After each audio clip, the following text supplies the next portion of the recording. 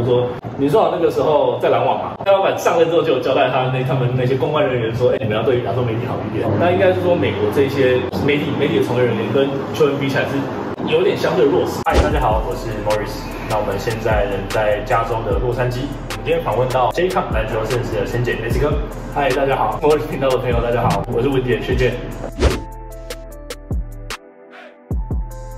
健。S 哥一开始就想请问一下，是你在学生时期的时候，你有想过有一朝一日可以成为 NBA 的记者吗？没有，从来没有想过，因为应该这么说啊，就是觉得 NBA 是非常遥不可及，对台湾人来说是一个非常遥不可及的梦想。哦，是，所以我从来就没有想过有一天能够进来 NBA 媒体圈里面当记者，还认识这么多这么多有趣的人跟事啊，所以是非常感恩啊，就是一路上很多人帮忙，这样。那再就是在什么因缘机会下，让我们可以成为？记者，我相信很多朋友很好奇哦，就是因为我们一开始，我们公司在台湾，我们有一个台湾的公司专门办活动，哦，这是球衣展的部分。我们那时候就在想说，如果你一直在做球衣的话，会不会每年都在做一样的东西很无聊？哦，所以我们就打算球衣的部门保持，但是在美国的话，以我为首，再把这一趟再扩展到另外一个面向，这样，所以我们就是往媒体部门的方向前进。哦，就然后我们大概花了两年的时间，把公司从一个活动的部门变成媒体的部门这个样子，就是花了很多时间来。也问了很多呃相关的前辈，很多前辈也帮忙，然后特别跟 NBA 中国那边的接洽，还有 NBA 总部美国这边接洽，符合很多很多的规定。但花了两年时间把公司调整好，然后就进到这个圈子。那当然真的很多人帮忙，就是很多人帮忙之下，才能够很幸运的在第一班车就我们就很早就进来这个圈子。了解是亲朋好友得知说你成为 NBA 的，可以分享他们当时就是跟你讲的什么话？他们都觉得我不务正业啊。好，因为我自己还算是蛮会读书的人，书读的还可以哦。讲在台湾书读的还可以，然后我那时候来美国也是读博班嘛。哦。后来因缘机会，然后接下这份工作的时候，大家就觉得你在干嘛？怎么不去赚更多钱？因为记者是 OK 啦，但是没办法赚到太多太多的钱，不可能让你。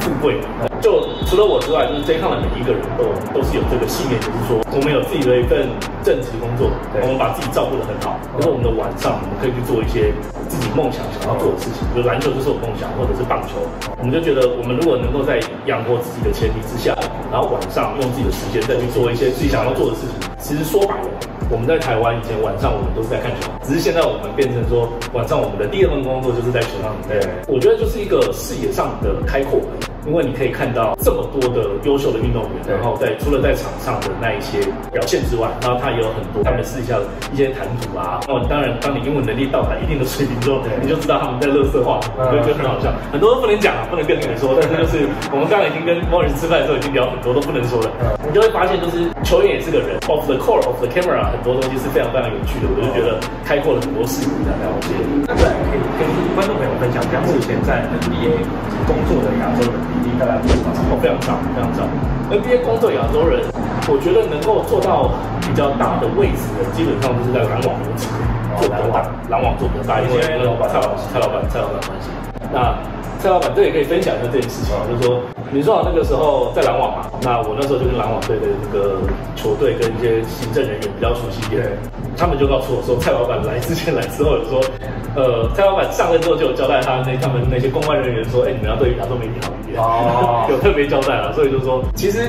NBA 有一个华人老板还是还是蛮不错的，应该是这样说。然后如果像我们认识很多每个球队都会有一些亚裔的啦，比如说台湾人，一些亚裔的一些中国人都认识蛮多人的。但是就是说，如果你真的要爬上去那个位置的话，我现在想的大概也就是两三个名字，但是都是中国人。我们台湾人继续加油，好。那近年就是因为去年 Dwight Howard 来台湾打球，那有有没有听到一些美国一些媒体同业有讨论到这件事情？他们首先有啦，非常多了，因为我在我在洛杉矶嘛，所以嗯对，呃，大家都非常的讶异独爱去台湾的这件事情。对，而且独爱第一天的那场比赛，云豹是先落后二十分。对。然后他那天是三十八分吧，三十八分延长赛，对对对，延长逆转了。大家就是觉得，哇，国外还是很能打。当然，我觉得他们带有一定的嘲笑的程度，是在说台湾的篮球水水准不高了。我觉得他们是这样。但我觉得其实台湾篮球水准也不到，不至于不高啊。那场是比较夸张啊。我觉得那场是国外是有点拿命在打的，因为后来国外就有点懒惰。对，大家都很很很讶异啊，就是说台湾请不到多，因为国外很贵。对，国外很贵，主要是国外这个价码是贵在那边。对，很贵。他拿的钱比 NBA 底薪再高一点，而且拿税后，对，NBA 还要扣税，他不扣税，所以他其实很高。我觉得就实力来讲，我觉得 Cousins 应该更比较适合台湾。长长远。对，因为 Cousins 的传球是比国外好的，现在的篮球有有外围有有外线，有外线，国外 也有的，国外只是投不太对，投不太他有在投，他有有在练了，国外有在练，对。从美国的角度，那是看台湾的媒体，看觉得台湾媒体有什么需要加强，或是你觉得也有不错的地方？我知道你给我压力很大，对，给我很大的压力很大。应该是说啦，不要说什么加强或什么，应该是说台湾有媒体自己有自己的圈子的玩法，对然后美国有美国的玩法。那应该是说美国这些媒体媒体的从业人员跟球员比起来是有点相对弱势，因为。球员会觉得他们比媒体都还懂篮球，他们从来都打到他觉得我是很强，而且你们薪水多少，我薪水多少，他们有时候会让你会会会让觉得就是。所以大家都会常常看到美国的一些球员，好像对媒体都不太友善呃，因为他们从内心就会觉得我比你强很多啊，然后对对对对对对对类似的，你凭什么写秀不好？他们都会看，他们都会看。但是其实因为有一些美国的媒体的从业人，他们其实是做篮球是做二三十年，他们是很懂，很懂的，所以他们有时候讲的东西是他们很敢讲真话。然后我觉得是这样，所以他们也不怕得罪球员，虽然球员有时候都很爱抢他们的，抢像我们啦，对啊，但是但我觉得台湾会比较像是说。呃，台湾的媒体，他们真的看了一辈子，然后球员对他们来说就是小头。头，对，所以说他们会觉得有时候，我觉得台湾媒体有时候，他会像在教训球员一样，对，就是球员讲的，不是他球员跟我讲的，我不知道，就是因为我没有在台湾媒体待过，对他们，所以台湾有些球员就会觉得，他们每次去记者会好像都是被训话，然后有有些人是这么跟我说，但我不能说谁的，就是都我这我因为我没有在台湾媒体待过，所以我不太确定。然后美国的话是在这边就看到。很多他们也是有另外一套文化，所以我不会说谁就是谁比较好或谁比较不好。对，不过但是都是都是有很优秀的，但是也是都有是在外的，也都有都有，所以不能说一竿子打翻一条船。了解。对于成为一个 NBA 记者，那你给就是观众朋友，假设未来想成立，那需要具备什么样的能力？你觉得或特质？特质哦，其实我觉得两个，第一个就是说，当然你要懂篮球，这个这个废话，这就不讲。我觉得特质第一个是你英文能力要很好，啊，英文不好就是哑巴，就是完全哑巴，就是所谓的英文能力好，不是说只是会讲会拼，因为台湾学的英文跟你真实在美国应用的英文的日常生活英文是完全不一样的，完全不一样。所以我们课本上英文跟你讲话的英文是不一样，然后特别是球员讲的又加了很多的俚语之类的那些东西，你是听不懂的，你是完全听不懂。所以我觉得这个东西是你必须要去。大量的加强，然后第二个是说你要懂得跟人家沟通，因为你不管在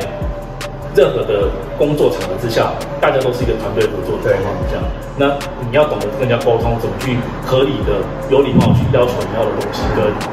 你如何知道不要去踩到人家的地雷，对，所以你要懂得沟通，啊，我觉得这两件事情很重要，但我觉得这两件事情也是。所有工作都需要，所以不见得是，也不见得是篮球，应该也应该也吃过很多亏了。对，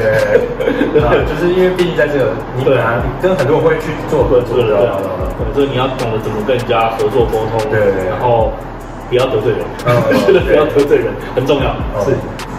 好，那我们篮球 work 系列的这一集就到这边结束。那我们谢谢 S 哥，谢谢。那我是 Morris，我们下期影片见，拜拜，拜拜。